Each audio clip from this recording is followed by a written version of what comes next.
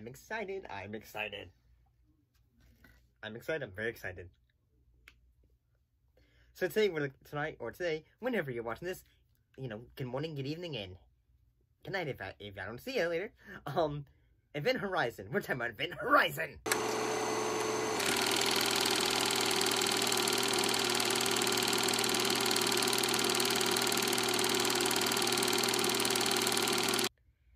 And what was this about?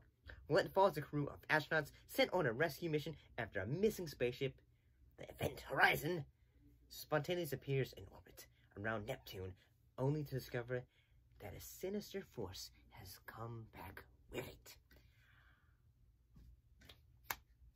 I have gone. I, I have never seen this before. I've, you know, I've seen some Paul W.S. Anderson's films, like, say, Alien vs. Predator. I've seen the, um, Resident Evil movies.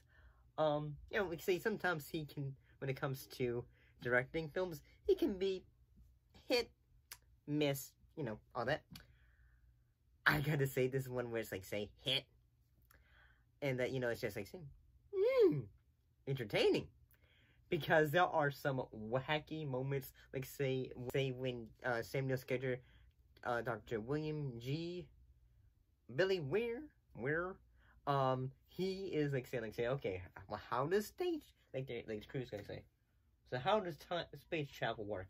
How does like you know interdimensional nonsense work? And he's gonna like say, let me take this porn mat, mat picture. Uh, attractive piece of paper represents space-time, and you want to get from point A here Oh. to point B there. Now, what's the shortest distance between two points? A straight line. Wrong. The shortest distance between two points is zero, and that's what the gateway does. It folds space so that point A and point B coexist in the same space and time. When the spacecraft passes through the gateway, space returns to normal. almost. And then he goes like say, and I'm just saying this. it was fun. Um, a lot of people have like say, can like say compare this film to like say, um, like say what was the film, um, The Shining. I can see that. I can see that. Whether it was a sequence in which, um, like one of the characters, the character of Justin, when he just like you know he ends up almost when he just you know like says I'm done, and then he, um, and the rest of the crew saves him and all that. It kind of like say, okay, there's some moments where I think, oh wow, Okay, baby bear. I got him. I got him. Stand by, people. the effects for this film are still pretty good. The film I'd actually say this is more similar to is almost like, um, Hellraiser in space. Yes, I can say like say some things of it are similar to, um, The Shining, like in whether someone has their premonitions and they go like say, oh my gosh, like and all that. They have them some freaky stuff that they're seeing and all that, and it's like saying, yeah, that's scary, and. But honestly, I do think there's some goofy moments, like say Laurence Fishburne's, uh, Miller's chair on his ship, like it's like hanging from the ceiling. I'm just going, like that is some production value that I have never seen in a science fiction film, and it's just like say, I give you credit, and I am thankful that you went there and you did that. Um, yeah, and I did like how um, like at sometimes there are some goofiness, like say whether it's like characters going like say, oh shit, like say suddenly the walls are oozing blood, and I'm just going to say, okay, now you're just being silly with this.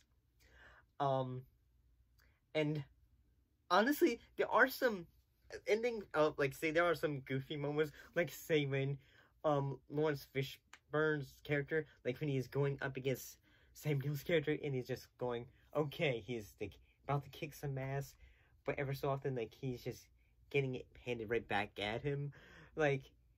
Like Sam Neill's character has like you know like he's suddenly become full pinhead, minus eyes. The makeup on him looks great. But then he goes like say, he basically the ship ship almost flings him out into outer space like he's Wily Coyote or something, and like then he goes like say, "Surprise! I have returned." The ship brought me back.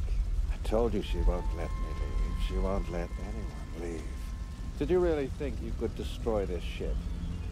She's defied space and time. She's been to a place you couldn't possibly imagine. And he, at one point, he's going before he flings his head into blood-soaked water.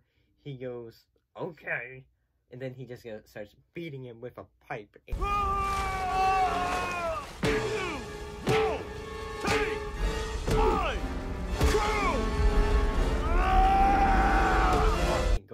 And have some funny lines.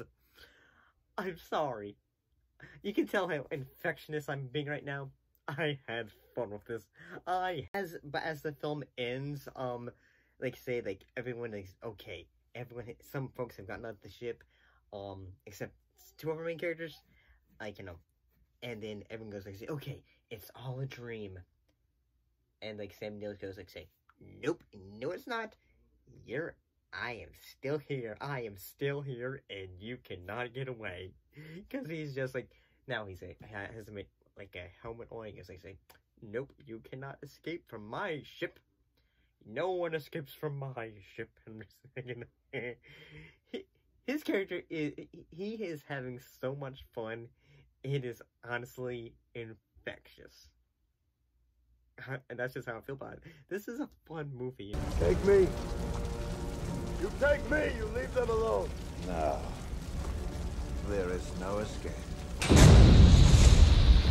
The gateway is open, and you are all coming with me. If you have not had a chance to see it. Yes, sometimes like the gratuitous violence that something from like say um Hellraiser can be like say like maybe it's too much, but I can understand why.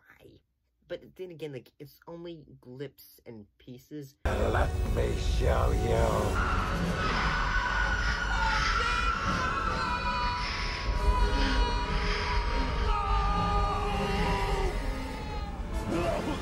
It's like only like say like one or two like less than 10 seconds of shots of the violence when it comes to the torture stuff but not bad pretty entertaining there.